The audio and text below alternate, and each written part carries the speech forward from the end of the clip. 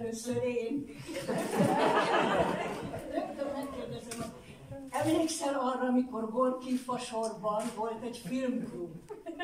És mellette az ifjú művész klubja.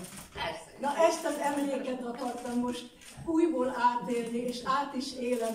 Talán nem sokan vannak itt önök közül, akik oda jártak, de mi nekünk a, nyilván ezt olvasták, meg tudták, hogy az esős vasárnap volt az a film, amikor 20 évesen egyszer csak úgy berobbantunk, akkor még nem tudtuk, hogy hova, hogy mi indult el, csak azt tudtuk, hogy szerettük egymást az osztályba, szerettük a rendezőket, de miért? Mert volt a Gorkipa sorban a filmklub, és oda, oda jártak a rendezők, az operatőrök, a szakmából nagyon sokan, és ott találkoztunk. Na most rögtön átvezetem ide, hogy az az érzés van bennem, mint akkor, amikor elmentünk egy-egy új filmet megnézni a filmklubba, vagy elmentünk kártyázni és táncolni az ifjú művészklubba, hogy együtt voltunk kortól, időtől és foglalkozástól függetlenül azok az emberek, akik egyszerűen az életüket tették föl arra, hogy a színház, a film, a fantázia világában akarnak élni.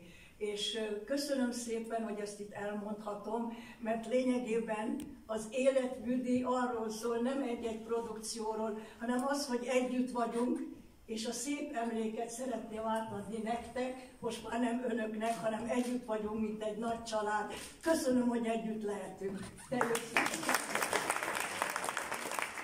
Jóba vagyunk a mai napig.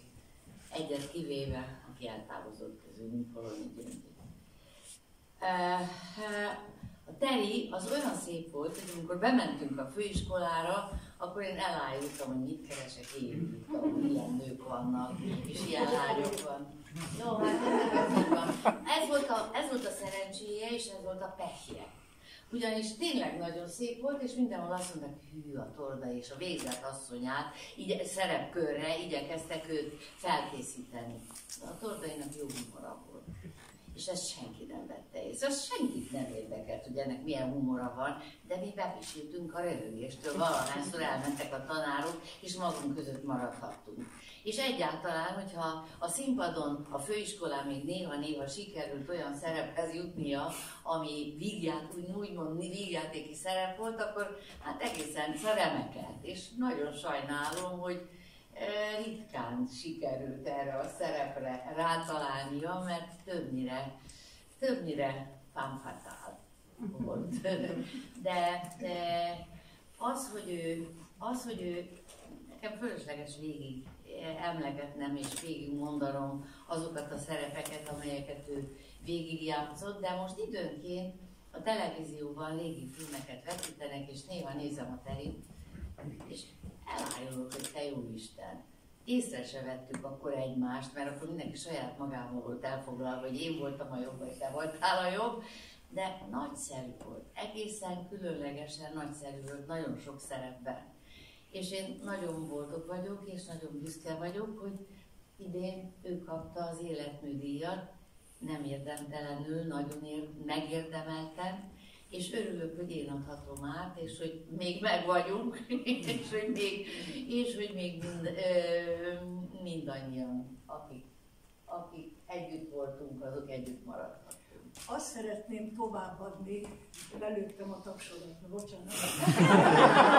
Azt szeretném továbbadni a fiataloknak, hiszen jóformán mindenki fiatal, itt a sajtósok ugyanúgy, ahogy szeretnék mindenkinek gratulálni a szakmából nektek, örülök, hogy köztetek lehetek, és itt vagyok, és hallom.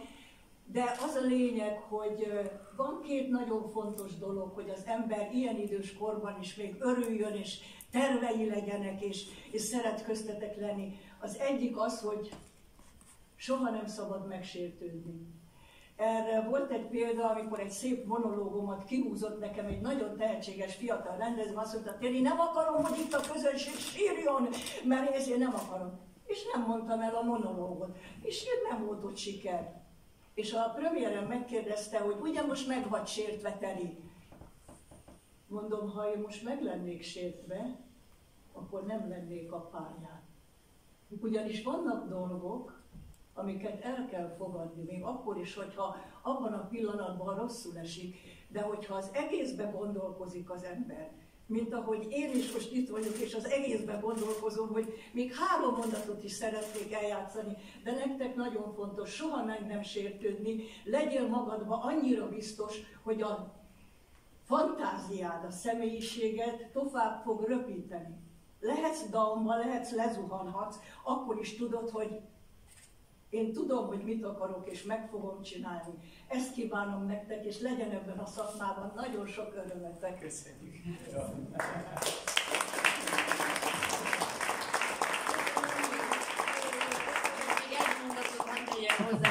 Én tudom az ő napi, napi gondolatait, és az, hogy valaki valóban aktív a mikorunkban, és úgy aktív, hogy szív, hogy érdekli a másik, érdekli, hogy mi történik a szakmában, mit, akkor, akkor kezdődik az öregség, amikor elveszítjük a saját szakmánk, a saját foglalkozásunk iránti érdeklődésünket. És amíg ez megvan, lehet az ember száz éves, még mindig fiatal. Köszönöm.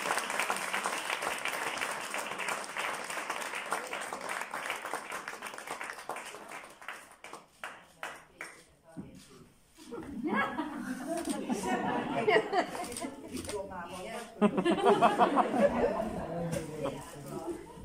világ legyen a tiéd, ez a lényeg az egy.